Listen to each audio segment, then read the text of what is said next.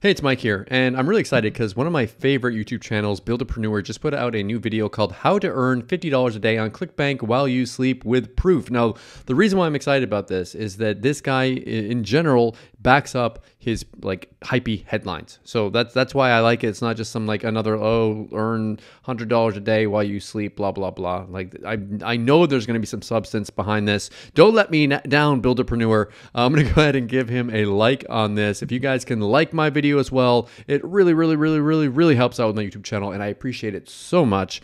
And if you haven't subscribed already, hit that subscribe button and bell notification. Let's jump in and see what this fifty dollar a day ClickBank method is, and even while you sleep with proof.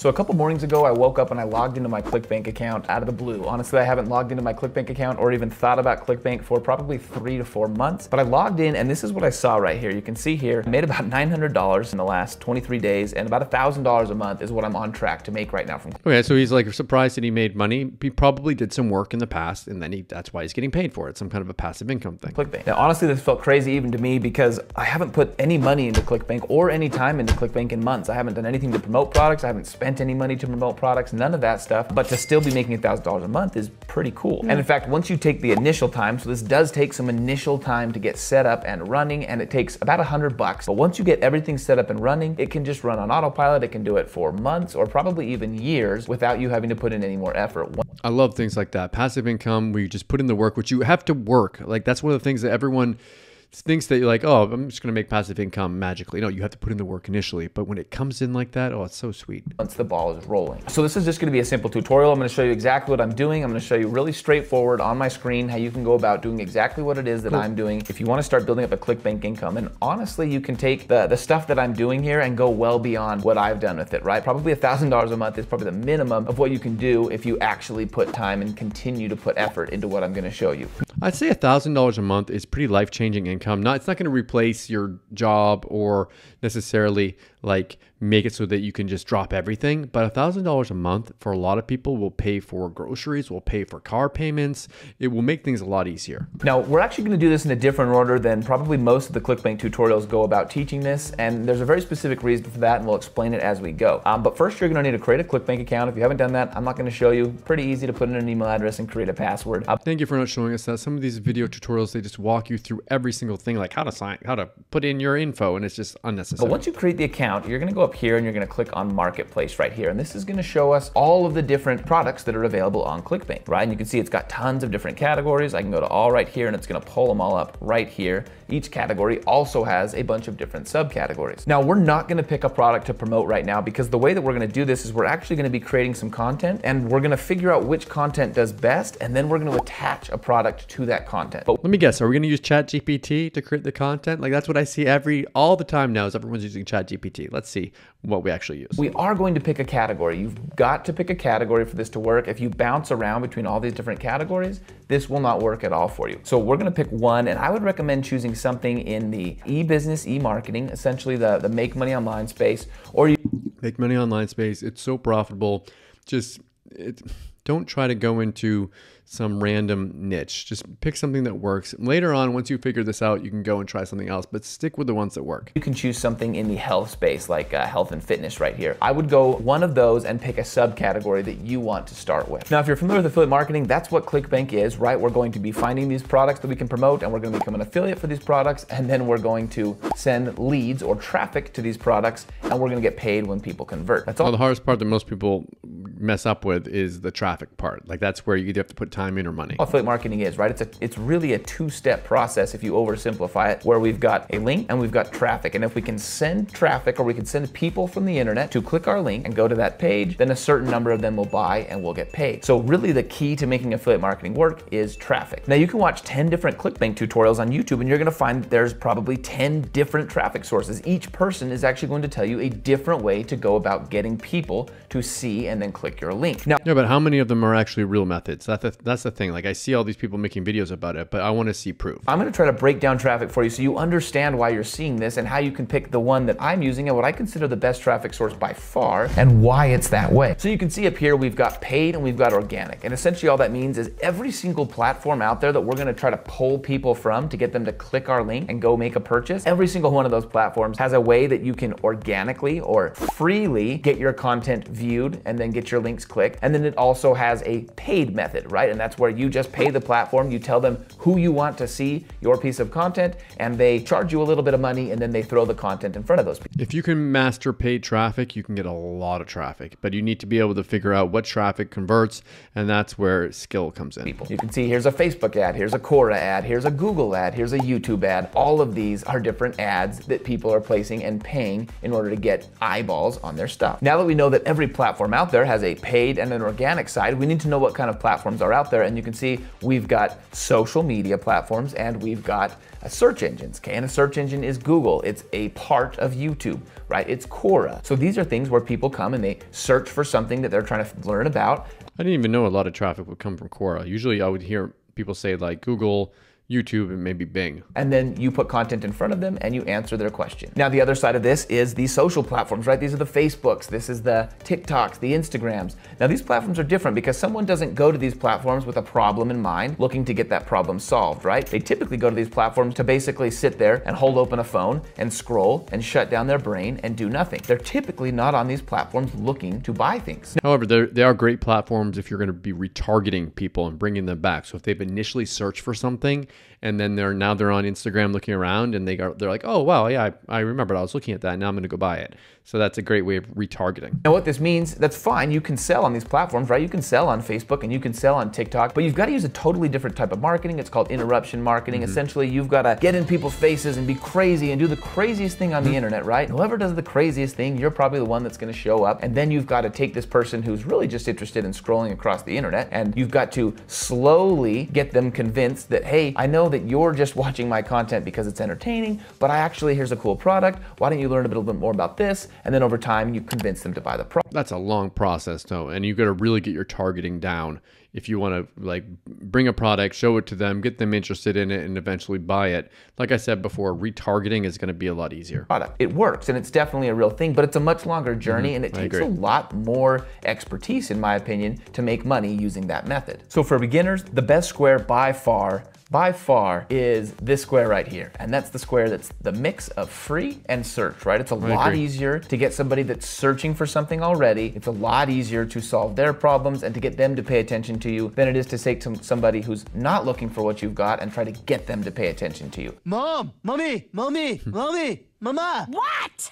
And then, of course, as a beginner, you don't want to spend thousands of dollars every single day trying to test ads and figure out if something works or not. So Like I don't mind spending thousands of dollars every day if I'm making two thousand dollars a day. But that's the thing is, it takes expertise to be able to do that. So I don't mind spending money, but as long as I'm making money back. there's two main search engines that we're going to use for this method. You don't have to use them both, but you can use them both. Now, I personally am just using Google for what I'm showing you uh, in the beginning of this video. I just am using Google for that, but you can I'm curious if he's going to actually show us like his real ads and stuff. very easily bring YouTube into this as well and do not a lot more work, but double the results. So YouTube and Google are the biggest two search engines in the world, and that's what we're gonna use. Now here's what the traditional route is uh, for somebody that's doing Google or YouTube, and we're not going to take the traditional route because we don't wanna be competing with 5,000 people. They go to the top offers on ClickBank right here, right? And they say, oh, Alpilean, I don't even know what that is. Then they go to YouTube and they make a review of Al Alpilean. I don't think I'm even spelling it right.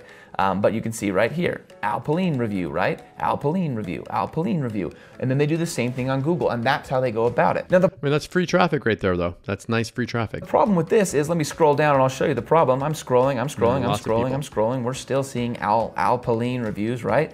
Well, guess what? We're competing with all those people. There's only a few videos that are going to show up on Alpilean reviews. So the rest of these guys down here have made a bunch of videos and they're not seeing any hmm. results from that. They're competing with hundreds of other affiliate marketers trying to make money with ClickBank. So not only is this method a lot more competitive, but this method also has another negative, and that's that these products come and go constantly. Sure. Someone launches a product on ClickBank, they go crazy for a few months and then it disappears, right? And you did all this work, you made this awesome YouTube review. Maybe you made a good one and you actually managed to show up first. That's all great. But in three or four four months, they've moved on, and now your YouTube video is not getting any views because no one's looking for a review of this product anymore. So we want something timeless, right? We want to wake up in three months and log into ClickBank and see that there's still money coming in, even though we haven't really been focusing on it. So instead, what we're to do is we're to find people on Google and YouTube that would buy these products if they knew about these ClickBank products, but they don't. And so they're not buying them, but they're Hmm. still on YouTube and they're still on Google. They're the right person, they're the right fit for the product. They just don't know about it yet. And I'm gonna show you how we're gonna find those guys. Now, this is great because it's gonna be less competitive, but we're also not gonna run into that second issue where the products come and go. We're gonna be able to switch out products anytime a product starts to fizzle and die and stop pushing. That's okay, we'll just swap out to the next product. That's the thing. Like when you're doing paid ads or something, you can switch it out and do something different. All we're doing is creating an audience, a, a group of people that like a specific thing. And we can swap out the top selling ClickBank product as many times as we need to for that audience. All right, now we are gonna need a tool to do this. And uh, full disclosure, this tool does cost $100 a month. Like I said, you're gonna have to put in a little bit of initial money. Now, if you don't have $100, that's fine. We're all in different places. You can get this done for significantly cheaper if you just go to Fiverr and you type in Ahrefs keyword research. You can hire somebody to do this in their Fiverr account for five or 10 bucks.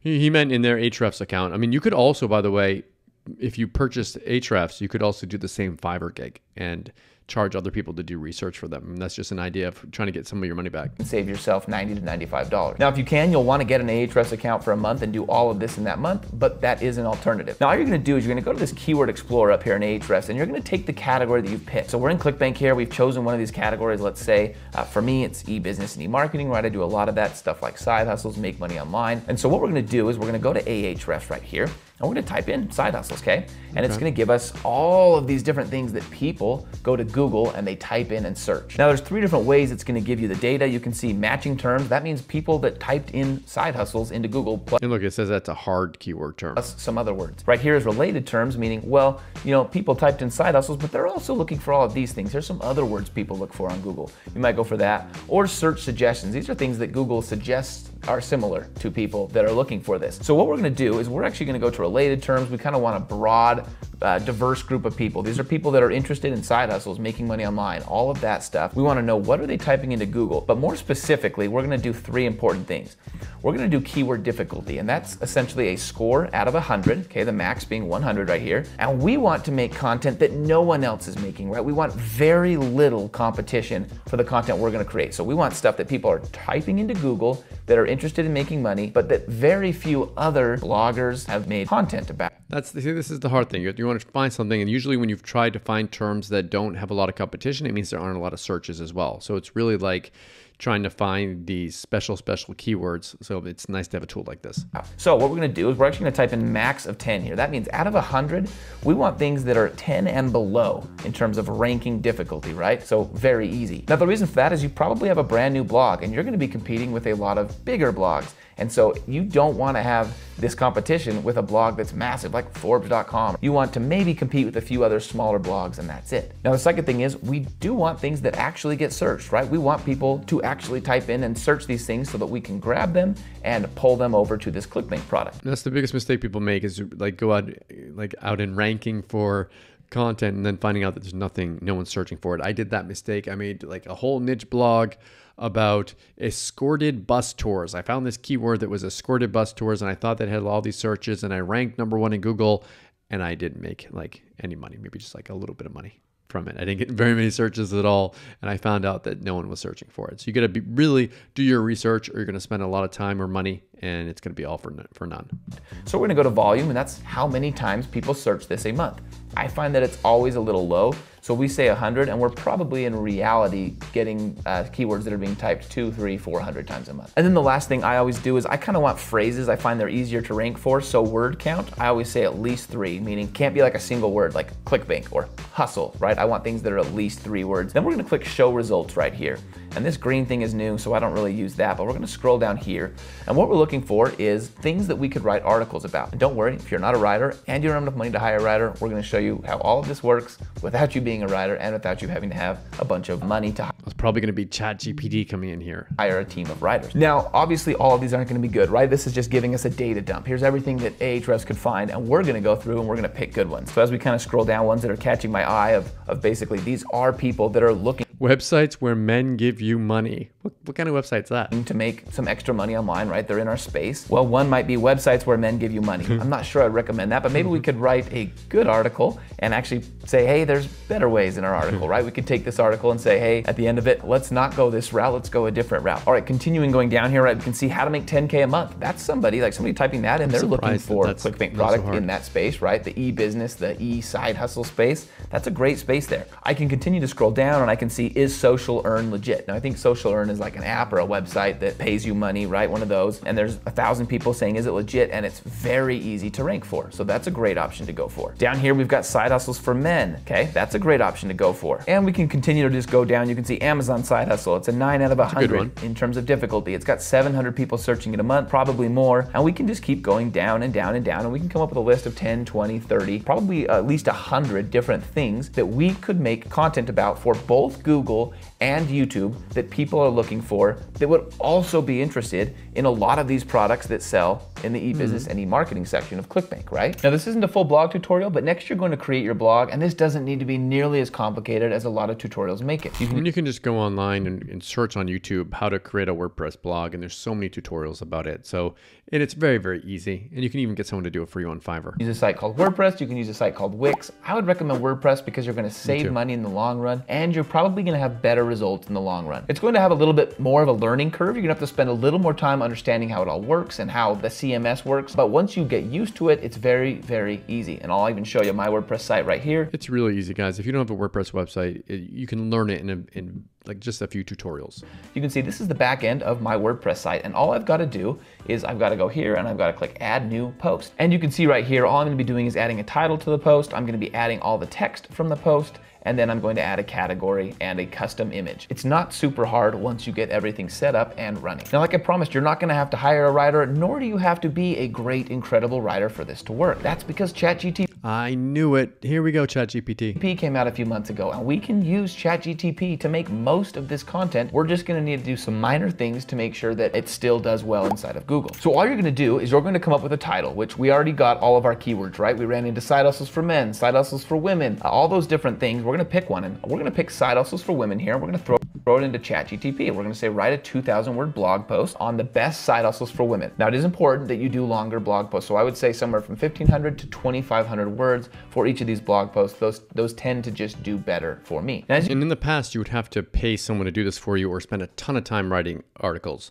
Now it's so easy. you can see, it's gonna start writing. It's gonna do a little intro and then it's going to start writing freelance writing, virtual assistants. Now it's moving pretty quick. So what we're gonna do is we're actually gonna pause ChatGTP and we're gonna say, hold on, I want you to add more details about freelance writing. Then it's going to break down freelance writing a little better. And so what you're gonna do, you might have to prompt it a few times to build out the full 2,000 word article. It might come up with something that's 500 words and you're gonna have to say, hey, can you expound a little bit on this? Can you add a few more paragraphs about um, writing opportunities or about Are we going to get to the point where the internet's just full of AI?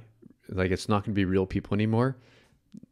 It's, it's an interesting development. about this or finding clients, right? You can easily do that, and it only takes a few minutes to tell ChatGTP and build out that 2,000 word article that you're looking to get. Now, once you get it, this is really important. Google can typically tell if, if something is written completely by AI. What it can't tell is if something is outlined and structured and basically written by AI with a human touch to it. So, what you're gonna do is you're gonna go through, you're gonna spend about 10 minutes total, and you're just gonna make some light tweaks. Like, I would say this this way, I would say this this way.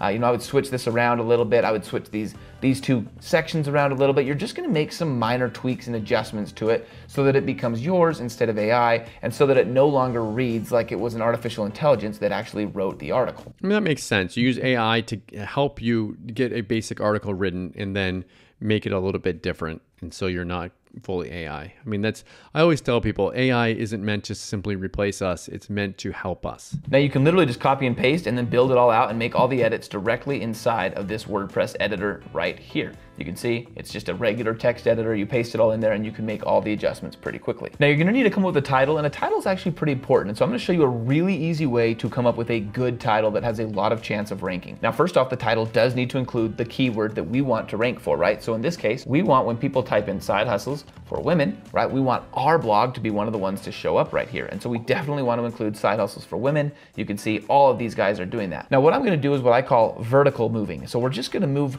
across vertical one direction and we're gonna see what titles they're using there and use the same ones. So what I would do is I would type in side hustles for men.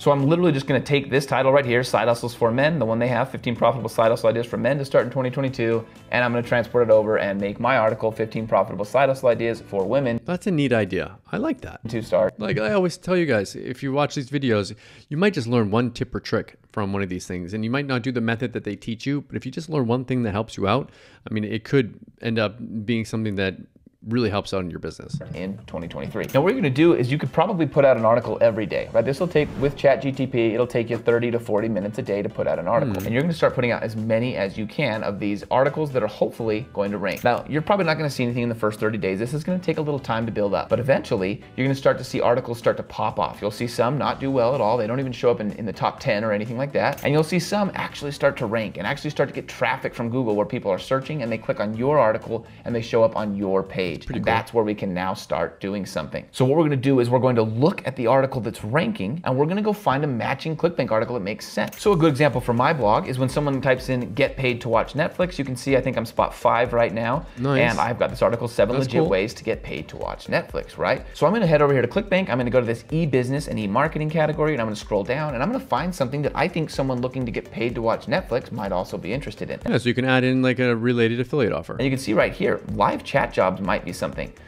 Maybe even better though is get paid to use Facebook, Twitter, and YouTube. That is Yeah, right in line with like what that. these guys are looking for, right? And so I'm gonna pick that product and I'm gonna get my affiliate link. All I'm gonna do is I'm gonna click promote. You can see I can add a tracking ID, I can add blog right there, and I'm gonna click create hop link. This is my link. If someone clicks that link, and they go ahead and purchase the product at the end of the line, which is this product right here, then I'm going to go get paid. So here's what I do with that affiliate link now. So let's go ahead and click the link. So it looks like this is how he's getting traffic and how he's making money with this. So he's actually showing us his traffic method and he's showing us the money that he's made. I like this. and see what it is I'm doing with my affiliate link that ClickBank just gave me. You can see right here, this is the blog article, and at the very top, I've created, uh, using a little plug and play builder called Elementor, these two buttons right here. And you can see right here, it's got a button that they can click right there. Online social media jobs that pay $30 an hour. That's the headline of, of their thing. Now what's happening is a certain number of these people that search for how to get paid to watch mm-hmm. Netflix come to this page, they start to scroll down, they see, oh, here's a similar thing, social media jobs that pay $30 an hour. They click that check opportunity button and they head over to that page. And if they choose to purchase, then I'm able to make commissions off of that. Now I wanna show you something else that's just so cool. And we're gonna look inside that post one more time to see that. And you can see right here, what I'm gonna show you is the date this post was published. And it was published on January 14th, 2022, That's cool. So this is very new. which was over a year ago.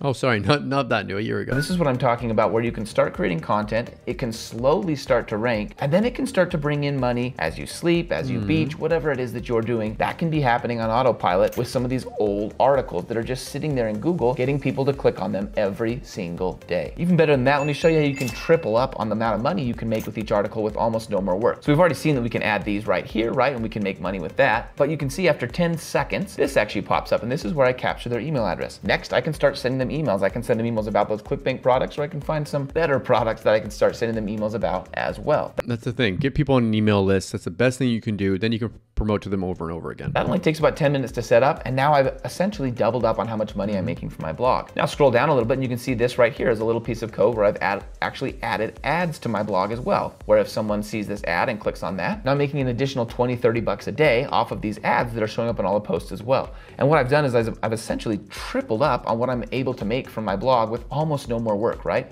I just add a little bit of code to the page and these ads show up. I add a little bit of code to the page and that email marketing opt-in shows up. And from then on, I don't have to worry about either of those either. This method is so cool because it just continues to grow on itself. And you can see how you could easily surpass what I'm doing with it on the side here if you actually put a lot of time and effort into it. So, what do you guys think of this method? I, I personally think that it's completely legit. It completely will completely will work. It doesn't take a ton of work, uh, and it's something that anyone can do. You just need a WordPress website in order to do it, and you can start creating content with ChatGPT. Uh, it won't work. It's not like get rich quick instantly, which I know a lot of people want, but it's get rich uh, slowly which is something that if you're if you've been around for any amount of time, you know that these businesses aren't aren't created overnight. You got to put in the time and the effort. Let me know in the comments below what you guys think of this, and please like this video. It really helps out on the YouTube channel, and I appreciate it. And if you've watched this far, hit that subscribe button and bell notification. As always, thank you so much for watching. I'll see you again in my next video.